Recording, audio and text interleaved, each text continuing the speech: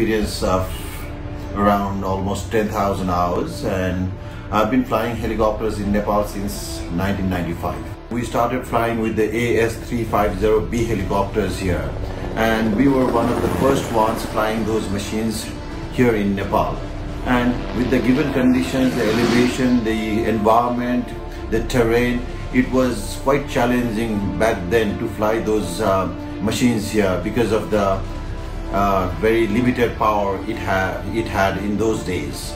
As the time grew, with the passage of time, there came new generations of helicopters, followed by AS350BA, B2, B3, B3 Plus, and now we are here with the H125 B3E helicopters, the latest helicopters of the generations and the uh, in the modern world.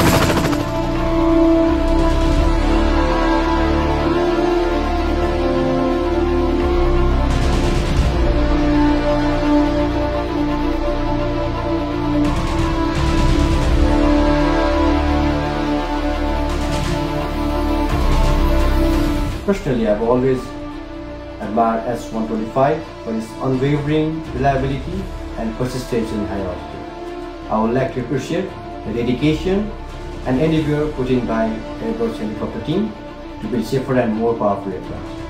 and uh, I'm sure there are lots of lives saved every year because of the helicopters like H125 which is very capable of going to very extreme high altitudes in very difficult conditions and save people's lives.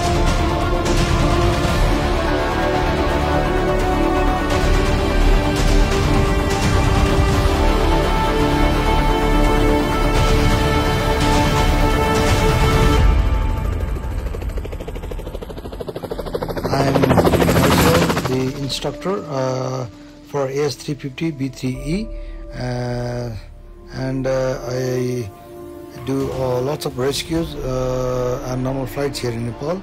I have uh, more than 300 uh, landings in Everest Camp 2 which is around 6,400 meters and uh, when people get stuck in the mountain I do long line rescues and probably have more than uh, 30 long line rescues uh, successfully done here in Nepis mountain. My name is Suresh Thapa and I have been working for the last 30 years. I'm working in Heli Everest as a senior captain. In Nepal, uh, it's very difficult to fly actually due to terrain. H125 helicopter is adaptable in any kind of mission and a safety feature is tremendous. I can say this is the best helicopter in the world. Like a high mountainous area in Nepal, we have a lot of challenges to do the maintenance. In May 2024, we have removed and replaced main gearbox and rotor head at altitude around 2,600 feet, confined helipad also. It proves that the helicopter is very excellent for Nepalese aviation. At one time I was flying with the H125 machine with the Manaslu, that's like 8,000 meter plus mountain. I was there to rescue and upon receiving that climber I was supposed to come down but due to thick cloud I was unable to come down. I had to spend whole night over there but luckily in, early in the morning when I fitted the battery the aircraft gets started. So that's what I like about the missions.